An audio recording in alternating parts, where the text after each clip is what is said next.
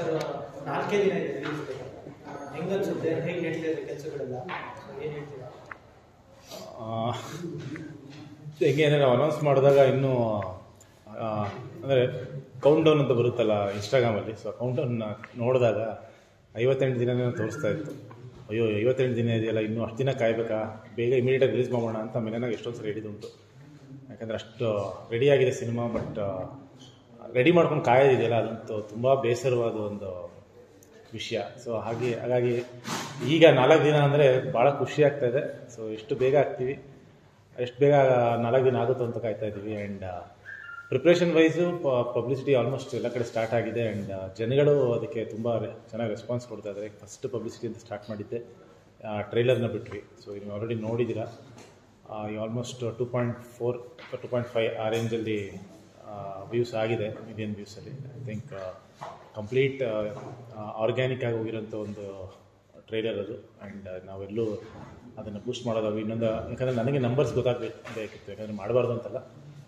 Exact number ಏನು reach ಆಗಿದೆ, ಏನು ರೀಚ್ ಆಗುತ್ತೆ ಅನ್ನೋದೊಂದು ಕ್ಯೂರಿಯಾಸಿಟಿ ಇತ್ತು ನನಗೂ ಕೂಡ. ಹಾಗಾಗಿ ನಾವು ಆರ್ಗ್ಯಾನಿಕ್ ಆಗಿ ನೋಡಿದ್ವಿ. ಆ್ಯಂಡ್ ತುಂಬ ಚೆನ್ನಾಗಿ ರೀಚ್ ಆಗಿದೆ. ತುಂಬ ಚೆನ್ನಾಗಿ ರೆಸ್ಪಾನ್ಸ್ ಸಿಗ್ತಾ ಇದೆ.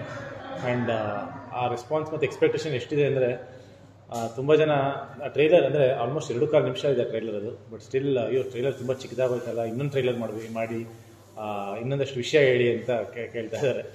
ಬಟ್ ಇನ್ಫ್ಯಾಕ್ಟ್ ನಾನು ಕತೆ ಎಲ್ಲೂ ಬಿಟ್ಕೊಡೋಕ್ಕಾಗಲ್ಲ. ಹಾಗಾಗಿ ಬರೀ ನಾನು ಕತೆ ಬಿಟ್ಕೊಡ, ಬಿಟ್ಕೊಡ್ದೇನೆ ಏನು ಬೆಸ್ಟ್ ಕಟ್ ಮಾಡ್ಬೋದು ಅದನ್ನು ಕಟ್ ಮಾಡಿದ್ದೀನಿ. ಆ್ಯಂಡ್ ಎಲ್ರಿಗೂ ಆಲ್ರೆಡಿ ಇಷ್ಟ ಆಗಿದೆ. ಆ್ಯಂಡ್ ಕಾಮಿಡಿ ವಿಷಯನೂ ತುಂಬ ಜನ ಕೇಳ್ತಾಯಿದ್ರು ಲವ್ ಮಕ್ಕಳಲ್ಲಿ ಕಾಮಿಡಿ ಜಾಸ್ತಿ ಇತ್ತು. ಈ ಟ್ರೈಲರಲ್ಲಿ ಕಾಮಿಡಿ ಸ್ವಲ್ಪ ಕಮ್ಮಿ ಹಾಕಿದಿರಲ್ಲ ಅಂತ. ಅದು ಕಾರಣ ಏನಂದರೆ, ಈಗ ಲವ್ ಮಾಕ್ಟೇಲ್ ಮುಗಿದಿದ್ದು ನಿಧಿಮ ಸತ್ನ, ಸತ್ ಅಂದರೆ ಸತ್ತೋಗ್ತಾರೆ ಅಲ್ಲಿ ಸಿನಿಮಾ ಮುಗಿದಿರುತ್ತೆ. ಸೊ ಇದು ಶುರು ಆಗೋದು ವರ್ಷದ ನಂತರ. ಸೊ ಆ ಥರ ಒಂದು ಕಥೆ ಹೇಳುವಾಗ ನಾನು ಆಡಿಯನ್ಸ್ಗೆ ಇಲ್ಲ ಇದೊಂದು ಹ್ಯೂಮರ್ ಆಗಿರುತ್ತೆ ಅಂತ ನಾನು ಏನಾದರೂ ಟ್ರೈಲರ್ ಮಾಡಿದ್ರೆ ತುಂಬ ಅಮೇಶ್ವರ ಕಾಣುತ್ತೆ ಅದು. ಸೊ ಹಾಗಾಗಿ ನನ್ನ ಒಂದು ಸೆನ್ಸಿಬಿಲಿಟಿಯಿಂದ ಒಂದು ನಾವು ಒಂದು ಪಾರ್ಟ್ ಟು ಏನು ಹೇಳಕ್ಕೆ ಹೊರಟಿದ್ದೀವಿ ಅಂತ ಹೇಳಿ ಹೇಳುವಾಗ ನಾವು ಸ್ವಲ್ಪ ಒಂದು ಎಮೋಷನಲ್ ಕಂಟೆಂಟ್ನ ಹೇಳಬೇಕಾಗುತ್ತೆ. ಸೊ ಹಾಗಾಗಿ ನನ್ನ ಸಿನಿಮಾ ಒಂದು ಎಮೋಷನ್ ಜರ್ನಿ ಆಗಿರುತ್ತೆ ಅಂತ ಹೇಳಕ್ಕೆ ಇಷ್ಟಪಡ್ತೀನಿ. ಬಟ್ ಹ್ಯೂಮರ್ ವಿಷಯಕ್ಕೆ ಬಂದರೆ ನಿಮಗೆ ಲವ್ ಮಾಕ್ಟೆಲ್ ಒನ್ನಲ್ಲಿ ಏನು ಕಾಮಿಡಿ ನೋಡಿದ್ರಿ ಅದಕ್ಕಿಂತ ಡಬಲ್ ಕಾಮಿಡಿ ಡೆಫಿನೆಟ್ಲಿ ಇದರಲ್ಲಿರುತ್ತೆ ಅದಂತೂ ನಾನು ಗ್ಯಾರಂಟಿ ಕೊಡ್ತೀನಿ.